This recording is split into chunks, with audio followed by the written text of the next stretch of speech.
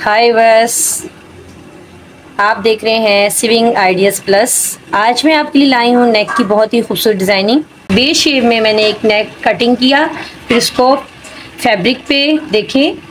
इस तरह प्रेस करके और स्टिच कर लिया है. कि मैं आपको दिखाऊँ इस तरह.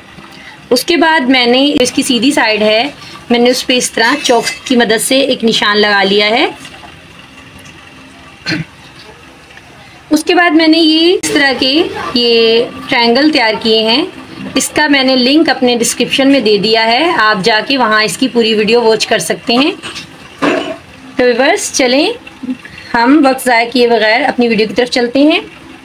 और मैं आपको बताती हूँ कि आज हम इस नेक को किस तरह रेडी करेंगे।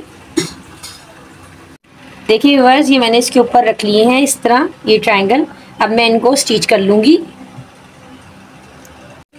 देखिए वर्स ये मैंने इस तरह लगा लिया है। अब हम इसको कट करके पलटेंगे। बस। देखिए हम इसको इस तरह प्रेस कर लेंगे। यो करके अंदर की तरफ़ मैं आपको प्रेस करके दिखाती हूँ। देखिए बस हमारा नेक बिल्कुल रेडी हो चुका है। उम्मीद करती हूँ मेरी आज की वीडियो आपको बहुत अच्छी लगी होगी। फिर मिलते हैं एक नई वीडियो के साथ।